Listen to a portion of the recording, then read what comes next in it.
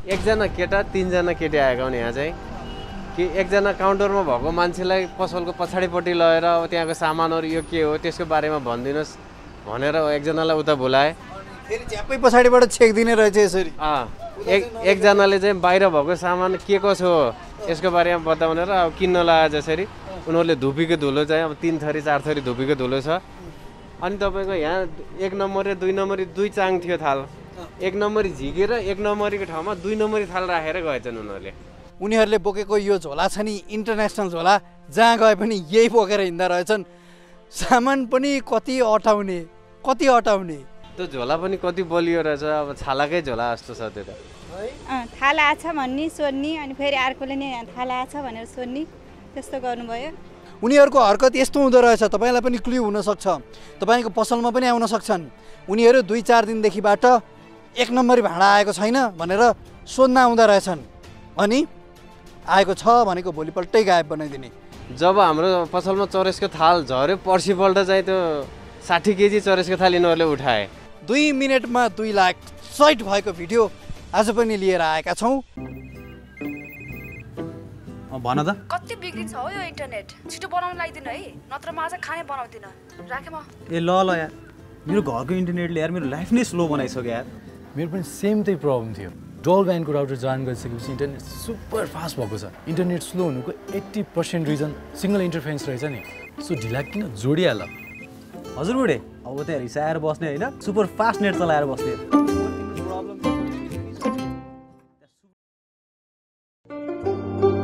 मेरो साथी टिभी हरपलको सहयात्री। नमस्कार दर्शकवृन्द स्वागत छ यहाँलाई। मेरो साथी टिभी हेरिरहनु भएको छ। म सुरेश सुनार उपस्थित भएको छु भाँडा चोरीकै प्रसङ्ग लिएर। भाँडा चोरीको विषयको फलोअप पहिले मङ्गोलियन फेस भएका तिनजना महिलाहरूको विषयलाई लिएर हामीले एउटा भिडियो प्रस्तुत गरेका थियौँ जहाँनिर हामी माफी चाहन्छौँ तिब्बतियन भनेर हामीले सम्बोधन गरेका थियौँ। हामीले ती तिनजनालाई मात्रै भनेका थियौँ। हामीले ती तिनजना महिलाहरूलाई अङ्कित गरेर तिब्बतियन फेस भनेका थियौँ। तिब्बतियन पहिचान भनेका थियौँ।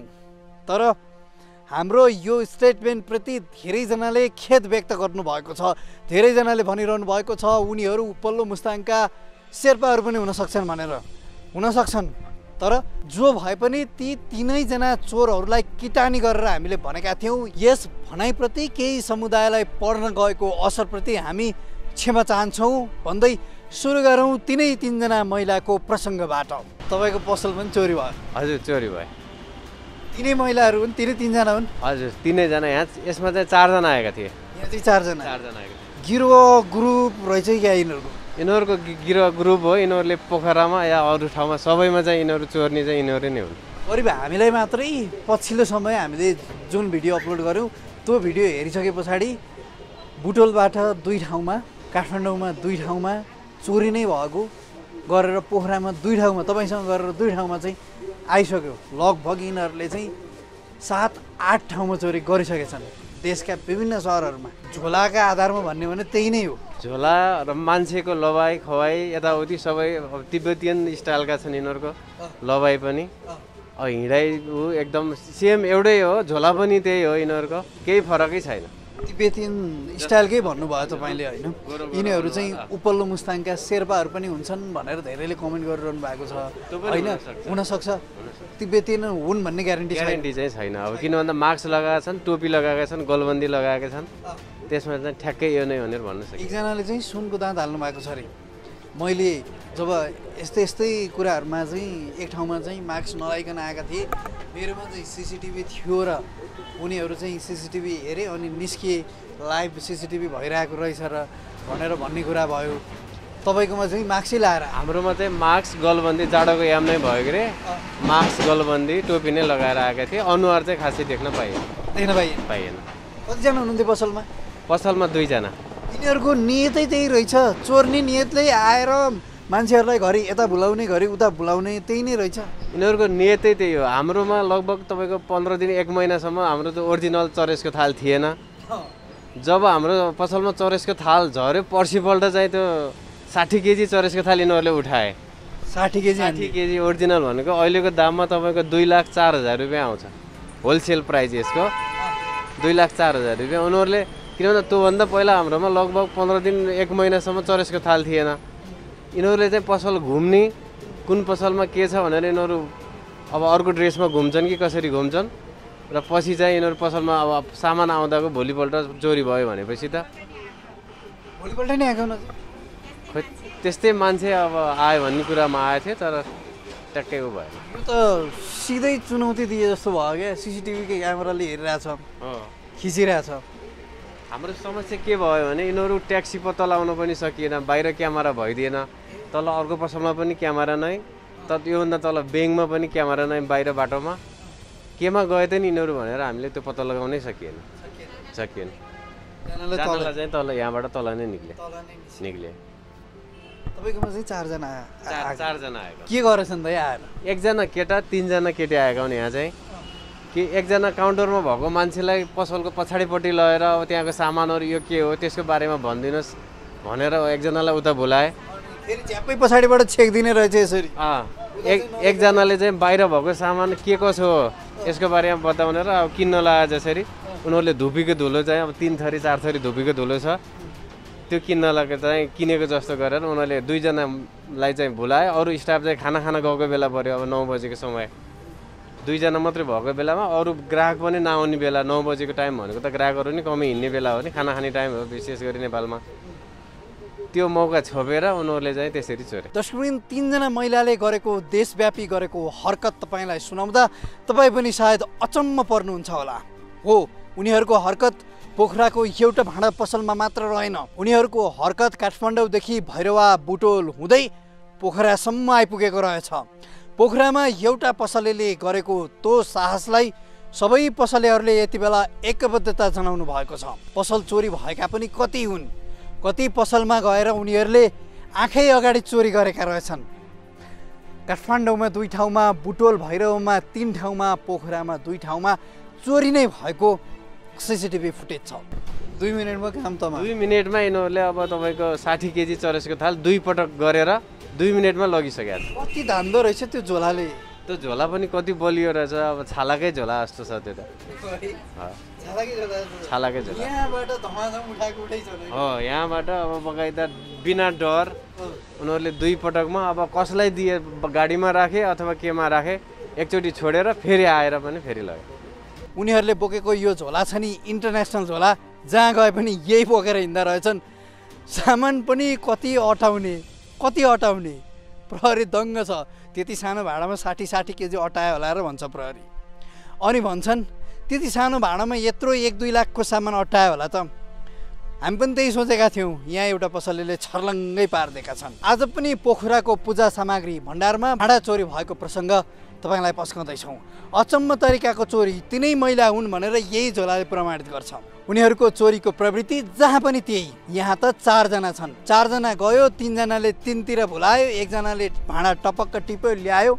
उनीहरूको भण्डार गर्ने ठाउँ ट्याक्सीमा राख्यो अनि फेरि गएर अर्कोचोटि चोर्यो कति आँट भएका चोर खुलेआम चोरी। एक वर्षदेखिबाट उनीहरू खुलेआम चोरी गर्दै हिँडेका छन्।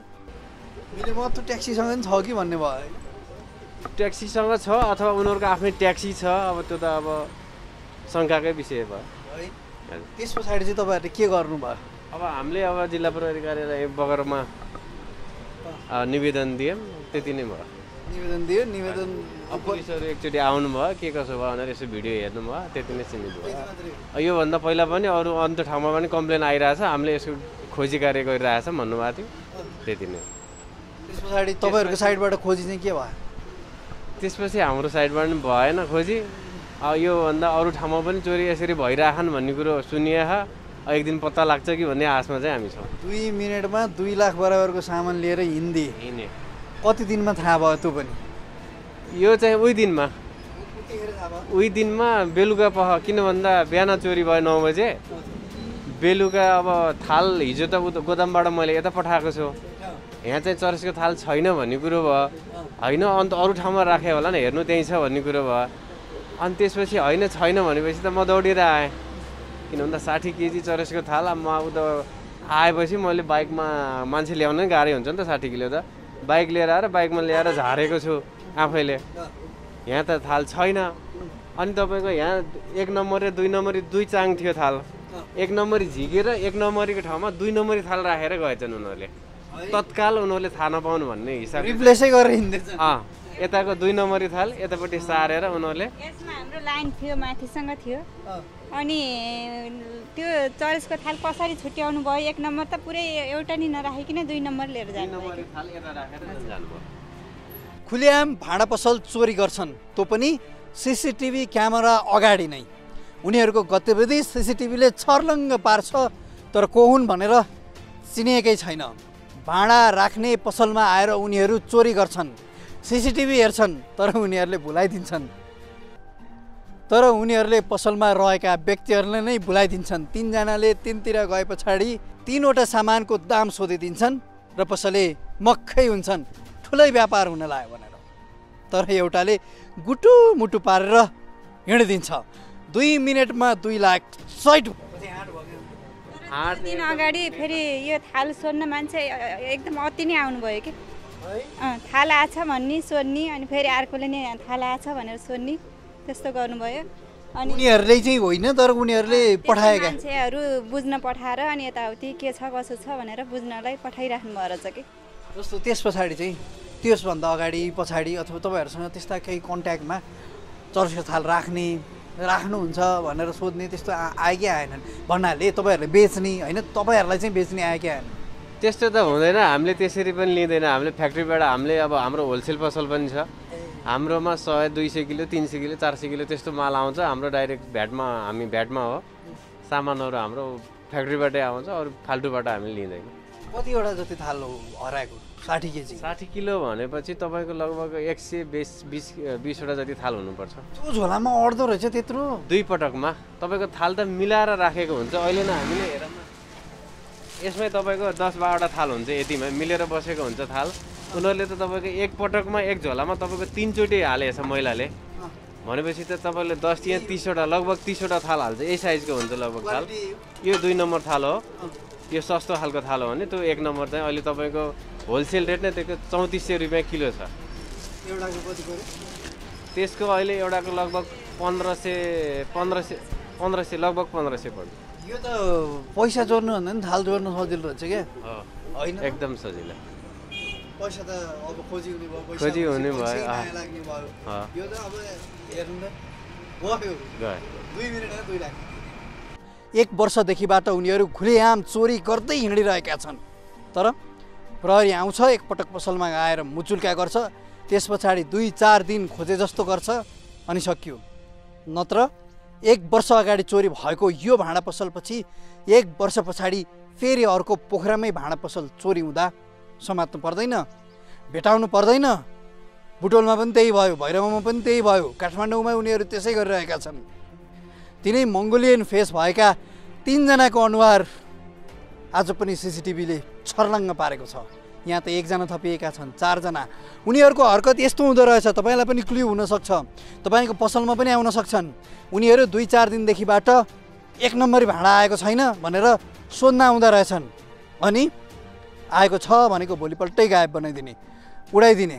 योभन्दा पहिला तिहारमा पनि अहिलेको तिहारभन्दा पहिला पनि हाम्रोमा अलिकति थाल हराएको भन्ने शङ्का भयो अहिले अहिले थाहा भयो।